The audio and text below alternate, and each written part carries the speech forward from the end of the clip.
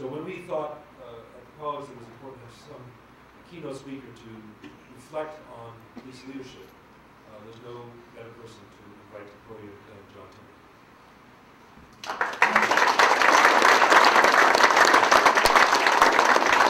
Thank you, thank you very much, Jeremy. And I, I do remember those days, actually, as a result of your introducing me to Ben Ward, uh, I still to this day consider him my hero. When I got sworn in in Philadelphia, I had him come down and, and speak. And maybe some of you don't realize, but of all the, the commissions that I served under, uh, and, I, and I think uh, even once before him, nobody has had a, a bigger influence uh, on the police department in the area of deadly physical force uh, than Ben Ward, whether attending uh, EDPs, shooting policies, and of course his, his experience went back to when he was a lieutenant and then assigned as the DCCA when he served on the original board, uh, helped devise the original Fire and Systems Review Board, which came into effect in, in August 22nd, uh, 1972. It's a separate story to that, which I'll get to uh, later on. But what we're going to do today over the next uh, 30, 40 minutes uh, is not really highlight New York. The New York story is, known. Uh, the, the, changes that have, uh, have occurred over the last uh, dozen years or so have been well documented. Professor Stoneman's here in the audience, his, his text is on there. And so it's, it's a well-known story.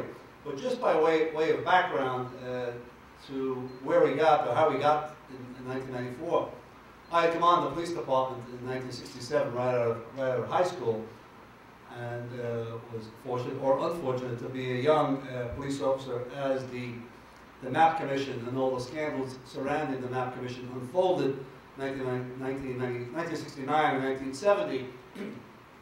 and then uh, that commission, the Knapp Commission, I guess got its findings around 71 and had a whole series of, of recommendations. Most of them uh, were pretty good, uh, including the whole notion of getting uh, cops college education, better raises. There's, there's, actually a funny story of the raise part.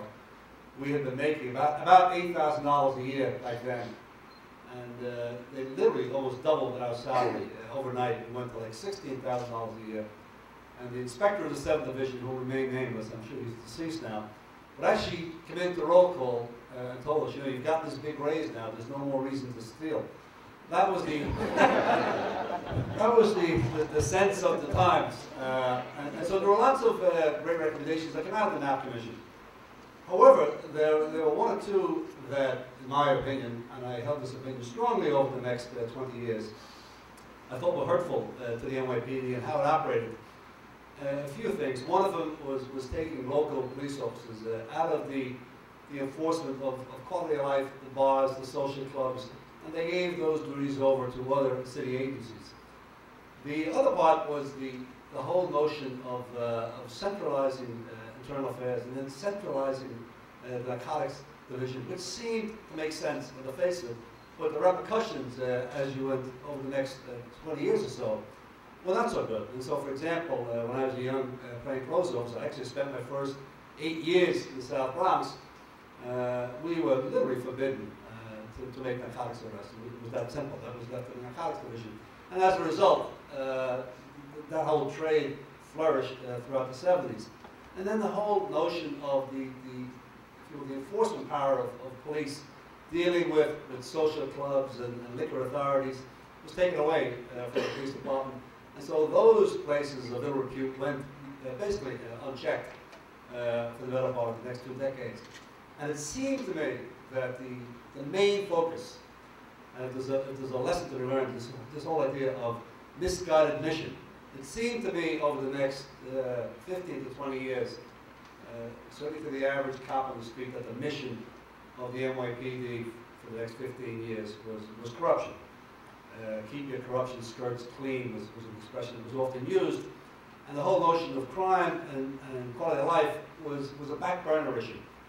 And the, you know, I, I remember actually Ben Ward was the guy uh, that had said it 15 years later that police and political administrations have been taken down by corruption. Nobody's ever lost their job uh, as a result of crime. And, and, and that, that permeated uh, the NYPD, and I think to the detriment of the NYPD and how it, and how it operated. And even uh, when I was a young captain, I became a captain in 84, and then I took over the 5th Precinct in 85. Even then, when you ran the precincts, it was really up to the individual captain. And so, for example, I had come from uh, an anti-crime, narcotics background, and so I focused in uh, on crime uh, in Chinatown and Italy. So the guy across the way in the first precinct had come from internal affairs, and so he focused on internal affairs. The guy on the right side, in, in the, the seventh, uh, had come through the academy, and so he focused on police training. So it was really, running these precincts was idiosyncratic. It depended on what you like to do, and nobody was really held accountable for, for much of anything except, except corruption. And so every December you have to produce this, this document of dozens upon dozens of pages on how you're going to deal with corruption. The first trend uh, away from that, uh, the first police commissioner in my time that, that, looked like he was going to do something about crime was Ben Ward when he came in in 1984 and he started Operation Pressure Point on the Lower East Side and then he took that to other uh, locales, including uh, Harlem and a few other areas, and it was going well, and crime was going down, and, and cops, for the first time in, in my memory, were out there uh, making arrests. Uh, but unfortunately, we had corruption scandals, the famous Dowd case in, in Brooklyn. And so, while we spent all those years uh, trying to prevent corruption, the fact of the matter is corruption is part of police life, and you deal with it. You know, you can't let it obsess you. But unfortunately, uh, uh, Commissioner Ward's reaction, along with the top uh, echelon, was to kind of retrench and, and, get out of the, the, the, business of enforcement and, and, let's focus in on this on this corruption. I, I, thought again to the detriment of the department at that time. Anyway, fast forward uh, about three or four years, it's, it's, it's, no accident that by 1990, it's the all-time record of homicides in New York City, and there's a sense, there's a sense that, that the city is spinning out of control uh, for the next uh, two or three years. In any event, there's, a new mayor in 1994, and, and uh, an interesting article had appeared in, in August of, of 1993. In 1990 1991, as a result of the, the, the outcry from, from more police officers, uh, the City Council under Mayor Dinkins passed the Safe Streets, Safe Cities, where we hired an additional six or 7,000 police officers, bringing the department up full strength, over 32,000 uh, police officers. And, uh, there was a very interesting article uh, in the Village Voice by a guy who lived in the village. Uh, title was The Decline of the Village. And he pointed out that uh, while he saw those new police officers, they look great out there in their nice press suits, that they're all out there, they look great, we pay for them. However, the drug dealers are still 10 or 15 feet away plying their trade, and those cops look like blue potted plants. Uh, and the whole notion of, it's not just important to have cops, that's, that's important, but I think it's more important, what are you doing with these police officers? When Bill Bratton uh, took over in, in 1994, uh, it was, I think, a great lesson uh, to be learned, not because I was a beneficiary of but simply because there hadn't been a complete house cleaning in the NYPD. The last one had been in 1970 when Pat Murphy came in as a result of a corruption investigation and a clean house. But after that, there was, no, there was never any wholesale uh, changes at the top. And when Lee Brown, the new police commissioner, came in in 1990, it had the same executive staff uh, stayed in place. And so when Bratton came in, it was, uh, it was really a fresh start with all new faces uh, after a series of interviews. And, you know, I, I, had a few interviews with Bill Bratton, and I thought, you know, we, we need to, I agree with him, we need to focus on the crime. But we also need to, deal with this issue of, of, of corruption. And my, my position that, listen, corruption is always there. You have to deal with it, but it can't be front runner issue. You deal with it as it comes, uh, but you don't allow that to interfere with the central mission now, the interesting part was, I think, we lost our way in the NYPD. If you ask the average citizen, what's the mission of the NYPD, they could have articulated no problem. You know, the rest of the bad guys, clean the neighborhood, deal with the quality of life. They would have no problem. But if you ask the average cop or captain, their, their, their, their takeout will be completely different. And somewhere in, in their first two or three sentences, the word corruption will appear. And so Bill Bratton, with, a whole new team in place, we decided we're going to focus in on, and Jeremy, by the way, was integral part of that team because he was then the DCLM. and, and helped uh, support us legally on some of the things we're trying to do, including uh, when we did the press conference at Washington Square Park, where we started a new initiative on the drug dealers down there. And it was interesting because uh, we, we had results just by focusing in and changing the mission and focusing in, and doing a variety of other things, we had uh, almost an immediate uh, impact, double-digit decline uh, across the board, including significant declines in homicide. And so the rest of that story, uh, you all know. I was just using that, that other part as by way of background. So New York's story is well documented uh, uh, over, the, over, those years, and uh, there, are, there are a variety of uh, fights among academicians. Uh, it really isn't the cops. It's you know, it's there's more jobs. There's this, there's that. There's other things that are at play. It's not the cops. Well, if you look at the the, the addition of what you normally factor into these things, the only thing that changed radically from 1994 to 1996 uh, was the was the posture of the NYPD. The unemployment remained at a 10% stubborn uh, unemployment rate. Uh, the poverty rates didn't change, the housing rates didn't change. So all those other things that are normally indicative of high crime didn't change except the posture of the NYPD. so in 19, beginning of 1998, uh, the guy who's now governor of Pennsylvania was the mayor going to his last two years, decides uh, he's going to make a change. Because what, what he had seen in New York, the interesting part of New York, the academicians used to argue that, well, New York's, it's, it's, it's crime's down all over America. Not just New York, it's all over. It's down nationally, and that was true. But it wasn't down evenly. Right? And in some cases, New York was driving the numbers, the national numbers. And so, for example, in Chicago, the crime rates went down, in Baltimore, they went down, in Philadelphia, they never moved, they stayed the same. And so I went to Philadelphia. So in some respects, Philadelphia was going to be the lab because you take what you've done in New York and replicate it in Philadelphia. And so I went uh, into Philadelphia with that type of background. Uh, but I also went in blind. Uh, I had grown up 29 years in the NYPD. I just assumed we were all alike. I just assumed that the, I never realized how good the NYPD was because the press never gave you the opportunity to appreciate the organization you were in. They would just keep beating the living daylights out of you every day, and you think, well, I guess we're all screwed up because the New York Times as opposed to the Daily News says so. You know? And so you don't appreciate the NYPD until you leave the NYPD and you go elsewhere. I'd also spent my whole career denying the notion of a police culture because it sounded bad. There's no police culture. And so I got to Philadelphia, and there's a police culture and it was in your face, it was obvious, but it also helped me to reflect back to New York. And there was a police culture also in New York. It was much more positive police culture, having to do with valuing education. And so I would have been a, typical product of the NYPD. Ray Kelly would be like, and Mike Julian, and Shane. And there are hundreds of people that the NYPD has sent, you know, for postgraduate degrees, for law degrees, and so it, it it's generated literally hundreds upon hundreds of people. Ben Ward was a typical that came in as a cop and, and went out as lawyers or, or, things of that nature. And so that was huge. I didn't appreciate it when I was in the NYPD. And then I get to Philadelphia, where a, a former mayor, former police commissioner, who remained nameless, that said, you know, I'm the mayor, I don't have a high school education, why do the cops need a high school education? And it was that type of, of, of attitude that kind of permeated that department, and it was a trouble department. And I remember meeting with, with, uh, with Jim Fyfe, uh, Lord his soul, he was a professor here. Jim is probably the authority, academic authority on deadly physical force in the nation. And he was at Temple then.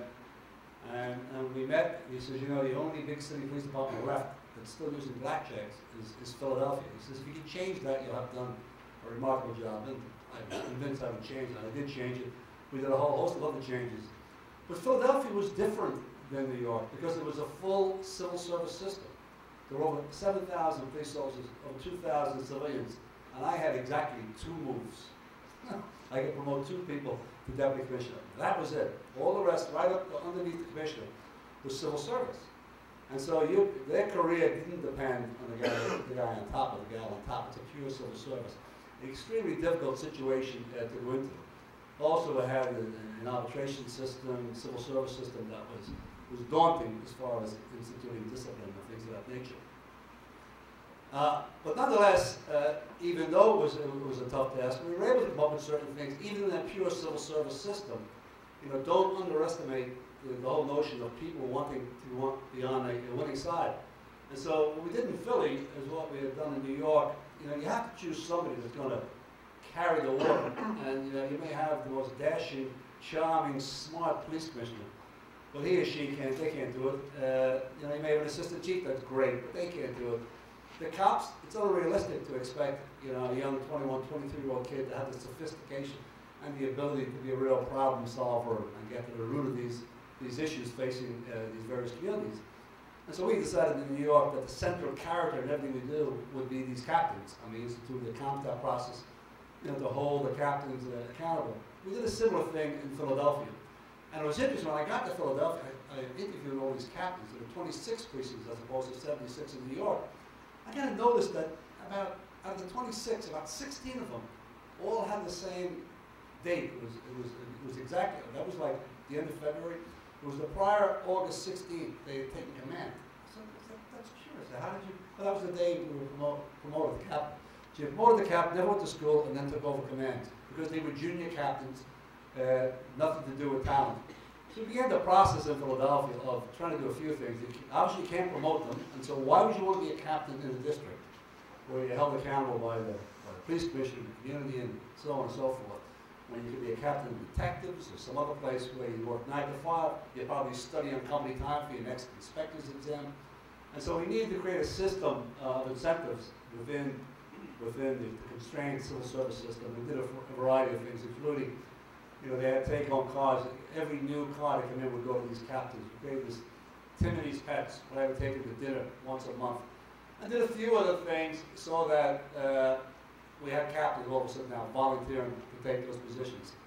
Instituted CompStat, did a variety of, uh, of, of, changes, and, and it was amazing. And then also, obviously, changed the mission. And the results were dramatic, uh, literally uh, instantaneously. And so the homicides in, in Philadelphia had, not dropped below 400 in, in, the prior 16 years. The year before I got there, there were 418. And my first year, we got down to 338, and the next year down to 292 and, and they kind of hovered around there uh, while other crimes were decreasing. We also dealt with a whole variety of other issues, controversial issues, uh, such as taking the blackjacks away, uh, creating uh, deadly physical force policy. Uh, when I walked through the door, uh, on, on, average, on a yearly basis, Philadelphia would shoot and kill around 12 people per year. the year I left, I was there for four years. My last year there was down to two and I'll get back to this in a second, but just last year they killed 22. And so there was a huge lesson uh, to be learned from Philadelphia. Last year also they had 400 some odd uh, homicides and a whole host of other crimes. When I went to Philadelphia, I actually a whole series of, uh, of talks and speeches of good government groups and community groups. And I had a regular routine about all the things we were going to do. I talked about systems and setting systems up. And I talked about that. If you set systems in place, whether it was a promotion system or training system or the CompStat system, whatever you did, that if you had them all right, uh, it'd probably get you about 85% of where you want to go. And then the last uh, 10 to 15% depends on kind of leadership, top command. And so I, I, I sold that bill of goods for about two or three years. I was completely, completely wrong. I completely underestimated a few things, mainly leadership that you know you can have policies uh, in effect, shooting policies in effect, but if you don't enforce those policies and you don't hold people accountable, then don't be surprised uh, if, if, if, the shootings rise. And so it's, it's just kind of a shame to see uh, in Philadelphia what, what, what's going on now, how, they, how they've drifted back. And so I underestimated that whole notion of leadership. I also underestimated, and maybe there's no way of getting around the civil service system, the whole notion of buy-in because it's a civil service system, and, and more than a few bosses, and there were lots of them, but more than a few said, I don't worry about this guy, he'll be. We'll wait him out, and then, you know, once he leaves, it'll be back to the same old, same old. Uh, and so it was very difficult. Uh, I thought I had uh, a certain amount of buy-in, but I actually had probably none uh, when I reflected on it. And so I don't know if that's my failure or it's, it's, it's, it's a system failure. Nonetheless, uh, there wasn't best as I can tell looking back now, four years later, there, there wasn't uh, that buy-in. a lot of lessons in Philadelphia. The, the, you know, you hear, you, see all the time, the, the mayor here, uh, Bloomberg, I think is doing a great job. You see him fighting with the PBA and the unions here. The unions here are nothing uh, like Philadelphia. Nothing. It's like kindergarten stuff. First of all, there are six of them, so they're not really, really united, you know, and they may have different goals and objectives. When you go to Philadelphia, everybody's unionized, right at the person underneath the police commission. So they're all in the same union, and it's a civil service system. And so it's difficult in the area for, for I, am a firm believer in discipline, the whole notion of holding cops accountable, uh, and that the police commission should be the final say uh, on discipline. Uh, in Philadelphia, it, it's not there's an arbitration system that, guess what, 50% of the time uh, overrule uh, the police commission's findings. Uh, that's number one. Number two, when you think about it, if you have a captain who's trying, I have quite a few captains trying to do the right thing, and as they're you know, going before the arbitration board uh, on a discipline case against a cop, to be reminded by the lawyer for the cop that I'm also your lawyer, and maybe if you get yourself in trouble, I won't defend you with all the energy maybe that you deserve. And So you have this undermining uh, of the system, a really, really awful, awful system. The final lesson uh, on, on Philly, well, there's lots of lessons, but the final one, when we went Miami, the final one is don't ever believe uh, politicians or the press when they first you. Going to tell you all sorts of things to get you to go there. I'll back you up, we guarantee charter change, you'll, you'll meet the editorial boards, they'll, yeah, we're right behind you. And then you turn around a year or two later and you're standing there all by yourself and they're writing editorials about childcare or some other stuff. And the mayor is, you know, worried about the next election, and he can't take on the union, you know, get over it. And so uh, it, that, was a, that was a huge issue. I remind the press in Philadelphia all the time how, how they failed in their responsibility. Because when I went in there, uh, and we were going to do certain things, I made it as much as humanly possible, uh, maybe the most open police department in America. Bar none, bar none. CompStat I was there about a month. We opened that to the press, and they came and they and they wrote about it. They got great stories and a whole host of things. And as much as humanly possible, I opened up things to the press with the notion that sometime I'm going to leave, and part of the press press's responsibility would be, listen, you know what's going on, you know what should be going on. So if you see changes, you should be writing about that. Well, there were lots of changes, lots of fallbacks, and, and nothing uh, was written about it. Uh, they're finally starting to catch on now because with, the, with the shootings over the last two or three years, I said, you guys are amazing. You know what the shooting guidelines say, for example, in the area of cars. The of cars, you can't shoot at the cause unless the, the, the occupants of the cause are using deadly physical force by means other than the vehicle, means they're shooting at you, right? And so a police department spokesman would go out there every time and say, listen, the officers shot at the car. There was no gun, but you know, he felt his life was in jeopardy. He'll always going to say he felt his life in jeopardy. You think he's going to go, yeah, he just shot him for the hell of it. No, they're always going to tell you, the life's in jeopardy. So wouldn't you think if, if you were a reporter with half a brain, not full brain, half a brain, you work for the New York Post, with a half a brain, what did you say, wait, hold on, hold on, time out. Doesn't your policy forbid you from shooting at cars? What, what, no. So it's not the press as watchdog, it's like the press as lapdog. Whatever you tell them, they just lap it up, right around, and then regurgitate it uh, in, the, in the morning press. And so there's those are some, and there are more lessons we get later on, on Philadelphia. I now go to Miami. And Miami is an interesting case. The crime in Miami, uh, its worst years, literally are way behind, actually. The doctor here can, can attest to that. When you look at Miami, you look to uh, 1980, 81, with the emergence of, of, of, two, two phenomena. One, the cocaine cowboys and the Mariel boatlift, the, the Castro unloaded the insane asylums and the jails and just literally dumped them on the coast of, uh, of South Florida. When you look at the homicide rate for the city of Miami, not the county, just the city, just to give you some perspective, the worst homicide rate in New York City's history was 1990. 2,245 people were killed. 2,245, right? Philadelphia, 1990. Most, most cities in America, that was their high year, the watermark year. In Philadelphia, on, the, on a prorated basis, they had around 2,500. And I was in New York here, you felt like the place was out of control. Right? I'm sure Philly felt the same way. So the benchmark is around, if you're getting around 2,500 homicides, you, or 23, 20, you're, you're in trouble. When you look at Miami, the city of Miami, in 1980 and 81, they had the equivalent between six and 7,000 homicides on a yearly basis. And so how did the, the politicians of Miami respond to that? Well, they did like every other politician has done over the years. And again, there's a crisis. They there hired hundreds of people with not much regard for background checks. And by the way, you can get away with that. You get away with that short term because the new cops, even if they're bad, will behave themselves for the first two years. And then they, eh, this is pretty easy. And sure enough, in 1985, uh, uh, uh, a bunch of Miami cops who had been written off drug dealers on a regular basis boarded a ship in the Miami River, uh, stealing literally cartons of, of cocaine, and wound up drowning uh, five to seven people in that process. Those are the famous Miami River cops. Similarly, Miami, you know, we often, when, we think of a riot, particularly race riots, we often think of LA and a whole host of other cities.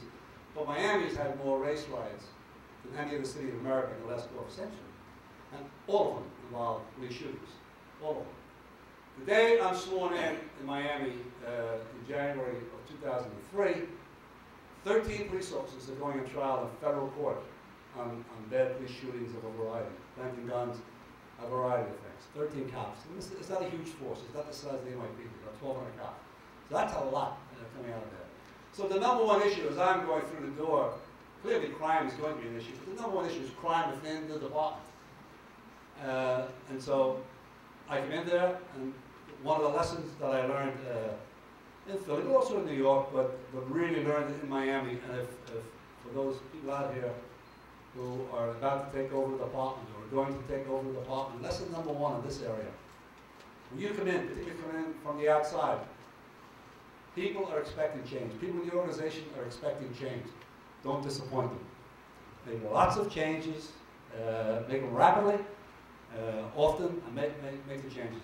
And so we did in, in, in, Miami, literally from day one, even though it took a while uh, to get the, the, the new policies uh, on paper, I let them know that from the top staff uh, on down that clearly the shooting policies, this stuff will, will, end. We are going to put in the most restrictive, and it is the most restrictive shooting policy uh, in the nation. And by the way, you're also going to work harder. You're going to make more arrests. You have more encounters with citizens, and you're going to shoot less.